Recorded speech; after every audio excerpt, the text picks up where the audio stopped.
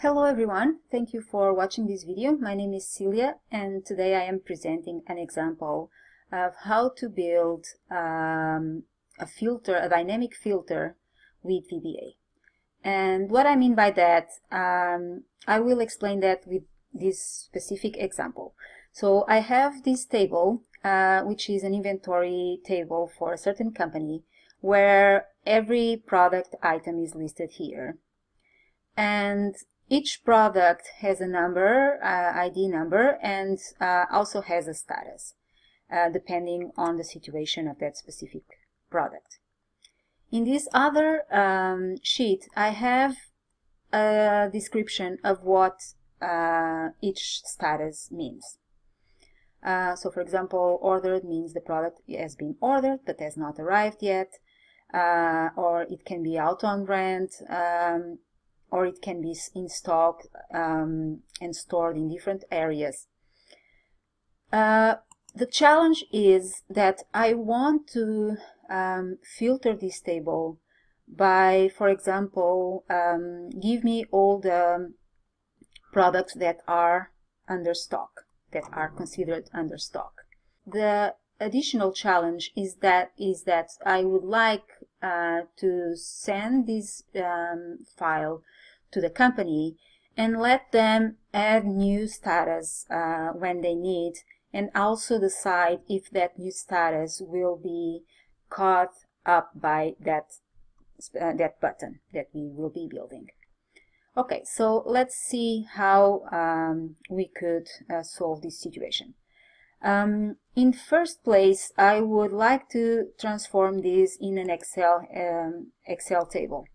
So we click anywhere and we go to insert table. Uh, this automatically selects uh, all my data and I can confirm it's selecting correctly. It is, and it's very important to select my table has headers there. Okay. When it creates the table, uh, I want to pay attention to the name of the table because I'll be using the name of the table later on my VBA code. So in this case, I'll, I'll call this table table underscore um, all products. Enter. I can uh, check this out uh, so that we don't have those um, highlighted rows. And in here, I'm going to do the same thing. Insert table same thing, my table has headers, and uh, for this table, I'm going to give it the name status, table underscore status. Okay, also going to take this. So now what I'll do is I'll um, do what I want, what I need, and I'll record the code, I'll record the macro. So we go here to the macro recorder uh, macro one is fine for now. Okay. And what we want is to select, go come to this table and to the status column and pick the status we want. Uh, so let's say I want to include rent uh, on as a as a product considered in stock, stock A, stock B, stock C, and that's it. Okay. So we could click OK and immediately the table gets filtered as we asked. So we're going to st stop the recorder and now uh, Alt F11 to have the VBA editor. I'm going to uh, bring Excel over here. We don't need that there and have the editor here. Okay. So let's see what we recorded. In fact, I have another module here because I have I was testing the file before. Here we have select, uh, we don't need this. We need to uh, refer to the table we want to filter. And then just follow this code that uh, is the correct sequence to have. And notice that uh, the set of conditions, the criteria we want, is represented here by an array. We don't need that either. So we could build a button with this that would always work uh, if we want the button to filter all the items with rent, stock A, stock B, stock C status. But what I want is to give the chance for the company uh, people to uh, be able to come here and say, well, we have a new area, let's say stock D, and uh, we want that to be also filtered. Apparently, there was, if you come here and clear, uh, we can also sort, and there was uh, no product under uh, with stock D. So we didn't even think of that when we um, filtered. Okay, so how can we go about this? Uh, this is one of the options we have. I'll uh, create a new column here that I will call button stock. And in this column, I'm going to put an X anywhere uh, in every line that I want uh, that status to be caught by that button. So I want the button to uh, filter anything with rent status, stock A, stock B, stock C, stock D. going to center. Okay. And now let's rebuild our code. I already have uh, the macro built here. I'm going to paste it and then I'm going to explain what I am doing here. Okay, so let's see what the macro has. Um, we have turn off the uh, screen updating feature. Okay, so that we don't have the, don't see the, the screen flashing, although in this case uh, it wouldn't matter much. Uh, and then we say this with this workbook worksheets data, this sheet here, let's do the following. Clear filters. The first thing we could do is to uh, clear any filters that might be applied to the data. Um, we activate the sheet and then we say list objects table all products that table here that we uh, created previously we named it uh, remember so we can refer to the entire table by, the, by its name, and if the table grows, all the range will be always considered. That's one of the advantages of uh, using tables. And then uh, these, in fact, could be could come here like that. With that table, sort, sort fields, clear. And then with that same table, auto filter, show all data. Okay, so that this is these are pieces of codes that you can also find about uh, by recording or um, searching online. It's very important to uh, notice that a table is considered um, a list object. Okay, uh, then let's see what we want. We want to create our criteria. So that part here we want to create a, a list like this. It might seem that this is a string, but it's not a string. We can uh, build, so what I'll do is I'll create this first as a string, and then I'll transform this to an array, uh, meaning that each piece of the string separated by a comma is one of the items of the array. So I'll start with criteria status list as an empty string, and it's here defined as a string. And then I'll go and say for each cell, and notice cell, I defined it as a range. In range, which range? The range in table status, button, stock. And what it means is the table status that we previously created and then the column button, button stock how do I know that this is the correct way to, um, to refer to that column? Well, you can come here and try, pretend to create a, a name range. So under formulas, I'll just, under formulas, name manager, if I wanted to create a name uh, a range for this column, I would go new, and then here I would say I want this to refer to this column. And notice what it wrote here. This is the way Excel is referring to a column within a table.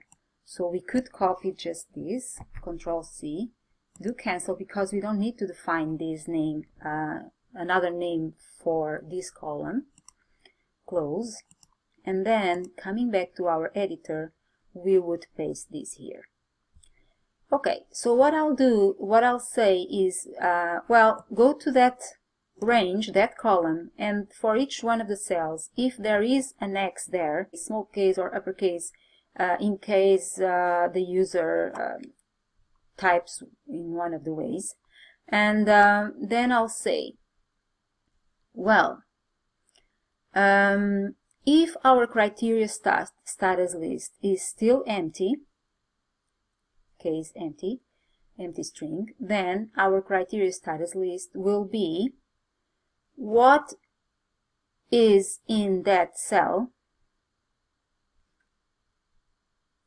offset by zero rows and two columns to the left.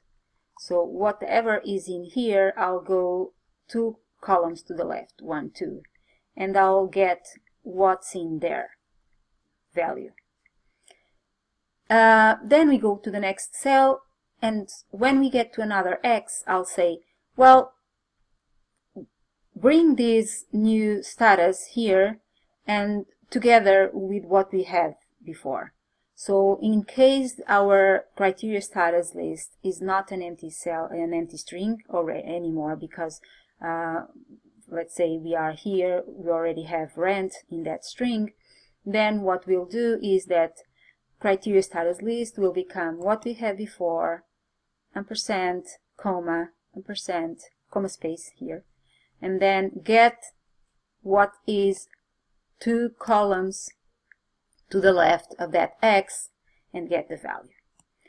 And so by running this, we will be building that string. Uh, I also added this piece here that uh, in case no x is put here in the, in the entire column, at the end we will have a criteria status list empty. And then when we ask the data to be filtered, nothing will be, filtered. So we will say no status is defined to be filtered with stop with the stop button. Please review settings on lists sheet and exit the macro uh, uh, will stop. Okay, so now uh, let's see, let's see and stop, put a stop here and run this part of the macro. I'll go F8 So criteria status list is empty, as you see when we over the mouse on top of that. And this is going through this um, column. The first one was empty. There was no X, so it jumped. Second one has an X and criteria status list is empty, so criteria status list becomes rent. Okay? Again, there's an empty cell, another empty cell, and then the next one will be stock A. So now our uh, criteria status list is not an empty string. So it goes here, it's rent, and after we execute this step, it will become rent, comma, stock A. And so on. Next will become, become rent, stock A, stock B. Okay. 5 by the time we uh, get here, our criteria stock status list will be a string with all the status we marked with an S. Okay, let's stop this and see what's next. So now I'll transform this um, string into an array. We will call that array ARY and uh, the code to do that is to say, well, get this string and split it by comma space. This will give this give us this array. Okay, now that we have our array, then we can finally copy this part of the uh, code here, all exactly the same, except that this uh, string here, these elements will be replaced by our ARY variable. Okay, that's what's in here. And then end with, then we turn our screen updating, turn it to true, and we end our um, macro. Okay, let's close this. And we can also create a button here.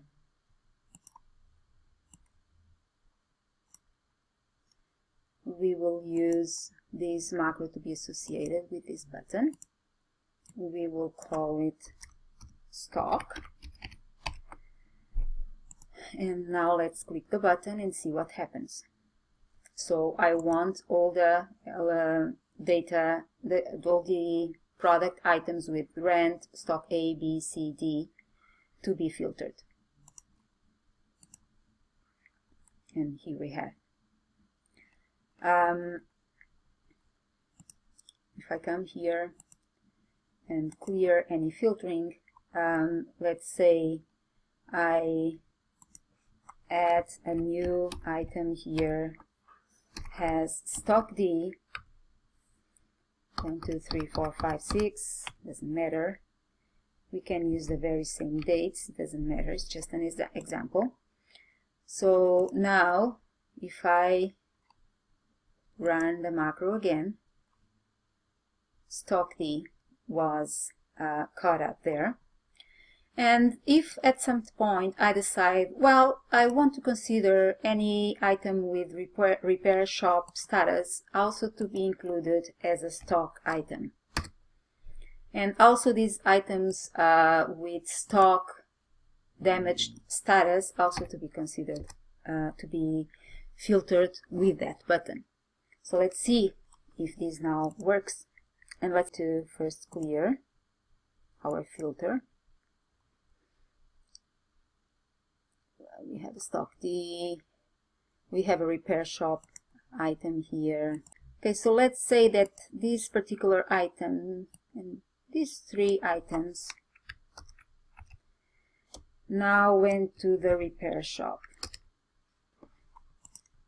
So we want them to be filtered by that button. So let's click the button and we have rent, repair shop, stock A, stock B, repair shop, stock C, stock D. We had a repair shop there already. Okay, so this is working and uh, there might be other solutions. Uh, I thought this was interesting to have so that uh, it's kind of a back-end uh, access to the system that the user can have and um, give them some more flexibility and make them um, to let them use the macros the way they need. I hope you liked it. Uh, if you can think of other way to solve this uh, challenge, please let me know in the comments. I would really like to hear from you. Thank you for watching. Until the next time. Bye now.